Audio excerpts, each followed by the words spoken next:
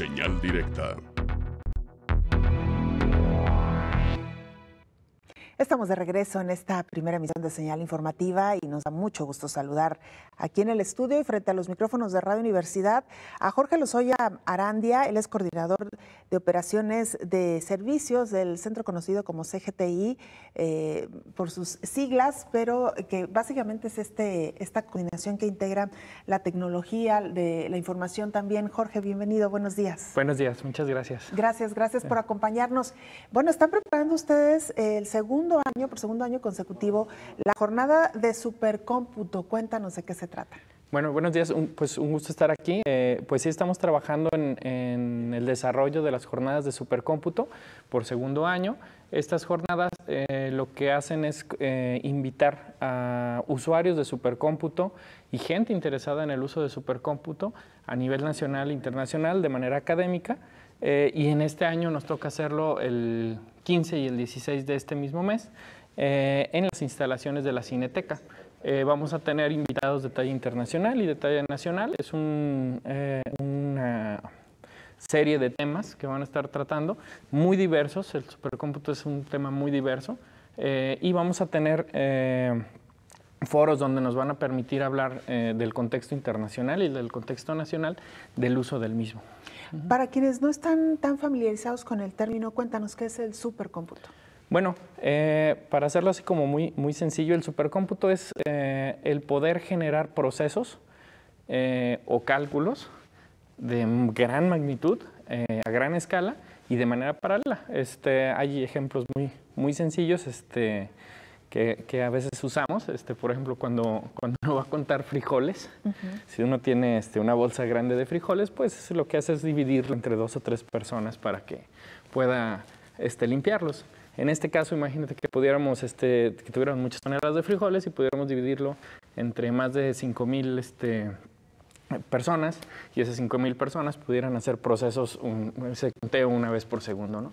Es más o menos lo que hacemos. Hacemos un cálculo que puedo dividirlo en muchos, muchos nodos, muchos procesos, y eso nos permite tener resultados mucho más rápidos y más, este, más precisos. Oye, Jorge, ¿y esto aplicado a algún caso práctico ya propiamente de la tecnología? ¿Cómo podríamos situarlo? ya tenemos varios proyectos, este, bueno, muchos proyectos aquí en el Centro de Análisis de Datos que están corriendo. Eh, por ejemplo, hay, este, hay algunos procesos de, de análisis de modelos. Eh, te voy a platicar uno sobre eh, análisis de imágenes. Por ejemplo, hay análisis de imágenes que lo que se hace es, em, se analizan radiografías, se tiene una serie de, eh, de imágenes, una gran cantidad de, de, imágenes, y lo que hace es por medio de inteligencia artificial se detectan algunas anomalías que ya se tienen identificadas. Entonces, bueno, cuando llega una imagen nueva, se puede analizar de manera rápida y, este, y generar un diagnóstico conforme a la base de conocimiento ya, este, que ya se tiene. Esto estamos hablando obviamente de medicina. Un paciente entiendo que llega con sus radiografías y pueden ser analizadas, como tú dices, con, inteligencia artificial. Es correcto. y el procesamiento de ese dato lo podemos hacer con supercómputo. Existen eh, especialistas en, este tema eh, de hecho, bueno, vamos a tener uno de nuestros invitados a hacer esa investigación en el gobierno del estado eh, y trabaja, procesa con nosotros. El primer día estarán, este, tendremos este, este foro en el cual este, convergen cinco investigadores, cada uno tiene una investigación. Tenemos también otra investigación que se realiza aquí en el CUSEA. Eh, esta investigación lo que hacen son este, tendencias en mercado y lo que se hace es se procesan muchas, muchas variables y se generan algunas tendencias. Esto es una investigación que ya tiene varios años en, aquí trabajando en CUSEA y ahora lo trabajamos con Supercómputo. Cuéntanos precisamente de estos eh, ponentes que tendrán, quiénes son y de cuál es la materia que estarán abordando prácticamente para que nuestra audiencia que nos está siguiendo, tanto en Canal 44 como Radio Universidad, y que esté interesada además en estos grandes temas, pues pueda eh, darse una idea de quiénes serán los profesionales que estarán ahí compartiendo estos conocimientos. Sí, bueno, el, primer día tenemos un invitado eh, que trabaja en el Centro de Supercómputo de la Universidad de Tokio eh, y nos estará dando una visión sobre qué es el uso del supercómputo en su país, cómo son los centros de supercómputo y bueno, esta visión que tienen ellos acerca del uso y procesamiento de datos, eh, él, se encarga de altas energías, de procesamiento de altas energías. Entonces el primer día él nos va a estar platicando cómo se usa este, este supercómputo en, esos procesos. Tenemos invitados, eh, por ejemplo, de la Universidad de Santander, de Colombia. Parte de lo que trabajamos nosotros es en redes de colaboración. Eh, y esas colaboraciones son a nivel Latinoamérica, este es Estados Unidos, en Europa bueno, y en Asia. Eh, y él nos estará platicando sobre los procesos de supercómputo en Colombia. El mismo día, el primer día, tendremos pláticas con, con invitados, como te decía, del gobierno del Estado, pero también tenemos este, miembros de algo que se llama, bueno, se llama la Red Mexicana de Supercómputo. Tenemos invitados del CICESE, eh, de la Universidad Autónoma de, del Estado de México, eh, tenemos otros invitados aquí de manera local de la Universidad de Guadalajara. Y bueno, es, la idea es que nos van a platicar un poco del contexto del supercómputo a nivel nacional. Y el segundo día tenemos un foro interesante que son mujeres en el uso del supercómputo. Y ahí vamos a tener invitados de, también de manera local de la Universidad de, Sonora. Eh, y bueno, ahí lo que nos, nos van a platicar un poquito sobre el contexto de cómo ellas han avanzado en el uso de estas tecnologías.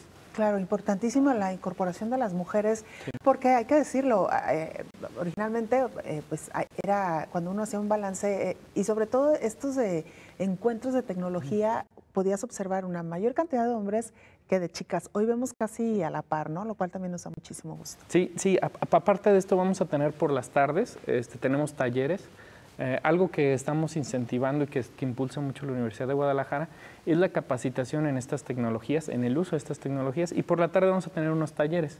Son talleres especializados en algunos lenguajes, eh, que es forma de programar este, procesos para supercómputo y bueno, los invitamos a toda la comunidad, son talleres gratuitos, este, se pueden inscribir en la página este, que es jornal supercómputo este, arroba cgti, perdón, punto cgti.com. Este, y ahí se pueden registrar. Eh, todos los talleres son gratuitos y la idea es que puedan platicar con especialistas en cada uno de, estas, este, digamos, especialidades eh, y puedan desarrollar algo de, investigación. Oye, Jorge, ¿y a quién va dirigida esta jornada? ¿Tiene que ser alguien que ya esté vinculado al área, que ya tenga estudios en algo? ¿Cómo, están, hacia qué público están dirigiendo? Está dirigido a académicos, estudiantes y realmente a la sociedad en general. Eh, parte de lo que estamos nosotros este, incentivando es precisamente el uso de supercómputo. Nosotros tenemos usuarios que son especializados, que ya tienen mucho tiempo desarrollando supercómputo, otros usuarios que no usaban supercómputo, pero son especializados en su área y que los decimos, este, que, no los decimos que son especiales en supercómputo, y los que están iniciando. O sea, gente que no sepa absolutamente nada de supercómputo puede empezar a usarlo. Realmente es una herramienta que te puede servir para muchas este, especialidades y la idea es que se conozca y puedan utilizar esta herramienta hacia su especialidad. Claro, ya nos mencionabas el ejemplo de la medicina, que sin duda alguna no puede ir avanzando sin la tecnología y bueno, cualquier otra, otra rama. Eh, ¿Cómo les fue el año pasado? ¿Cuál fue la experiencia? El, año pasado fue una, eh, bueno, fue una ocasión especial porque aunado a esto eh, fue la inauguración del Centro de Análisis de Datos y Supercómputo de la Universidad de Guadalajara. Entonces, bueno, eh, nos fue muy bien. El año pasado tuvimos también invitados de talla internacional, tuvimos invitados del Centro de Supercómputo de Barcelona, que es uno de los este, más grandes a nivel internacional.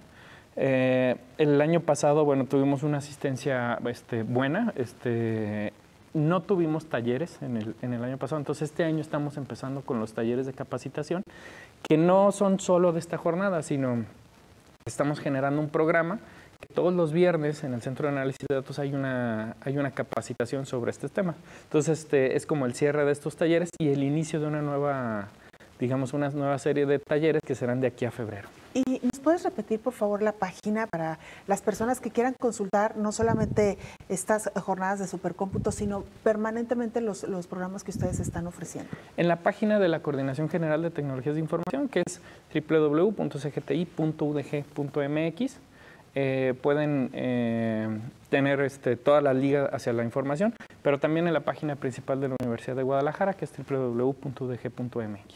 Recuérdanos, por favor, los días y la sede de estas jornadas. Eh, los días va a ser el 15 y 16 de este mismo mes.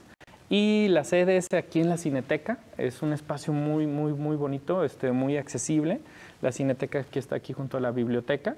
Eh, y bueno, el, lugar va a estar, eh, los talleres van a ser en, en la parte de posgrados de CUSEA, entonces realmente es aquí cerca. Estamos hablando de periférico y Parres Arias, para que más o menos en la confluencia de este, este centro universitario. Jorge, pues la verdad, gracias por, por hacernos esta invitación. Queda hecha ahí para eh, quienes estén interesados y por supuesto la consulta de más información en, en los sitios donde ya nos has dicho también.